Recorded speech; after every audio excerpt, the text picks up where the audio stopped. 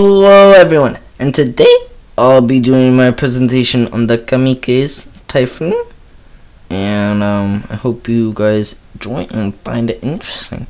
So yeah, let's get started. But also, um, I might use lots of um, estimates for this, so hopefully you don't mind. So um, on that note let's get started. what is the Kamikaze Typhoon? The Kamikaze is a typhoon that saved Japan two times. Um, man. Also, the the presentation is a little old, so um, this is a time where I do not use capitals. You should use capitals in um in names. back then I didn't really um, use capitals and um, yeah like anyways um, the Kamikaze is a typhoon that saved Japan two times from the Mongol invasion from 1275 to 1281 doing huge amounts of damage to Mongols. Yeah it definitely seems like it Look at that. That's crazy. The waves, they're huge. How how much damage did it do to the first fleet? Again, some of these might be estimates, some of these um, might be actual facts. So, I think with the rest right here, with the damage, I think these aren't really that much estimates, so I think we're I think we're safe here. fatalities, three thousand and five hundred. That's a lot of fatalities. Economic damage, um, five hundred eighty-three million seven hundred forty-seven thousand nine hundred seventeen dollars.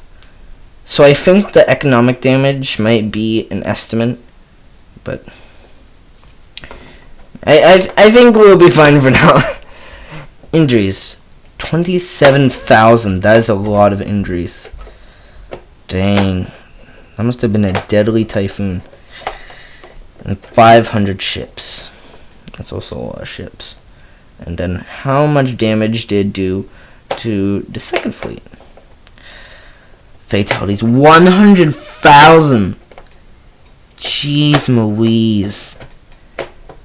That's an insanely powerful typhoon economic damage 25 billion um 357 million 872,123 again the economic damage is probably an estimate but I think I I think that's a good guess right? Um injuries 40,000 so yeah that was a deadly typhoon. That was a deadly typhoon. Ships 4,000 that's crazy. How big was it? It was felled off the coast of Tsushima and into the shores of Iki, which is around 71 kilometers. I think 68 to 71 kilometers. So yeah, this is this is where the updated parts start to kick in. So yeah, how fast did it go? It went extremely fast, about 80 meters per second. That's really fast. Or 288 kilometers per hour. That's fast enough to get from the center of Tsushima all the way to the shores of Iki in just 15 minutes. That is extremely fast. Extremely fast. Or going from Cairo to Beirut in about two hours. That's insanely fast the M. Well, I hope you guys learned something new. And, um, oh wait, did I mention, wait, I'm sorry, I'm just gonna check something. Oh, I should have mentioned that kamikaze, um, it means divine wind. So yeah, maybe I should have put that. But yeah, so I hope you guys learned something new.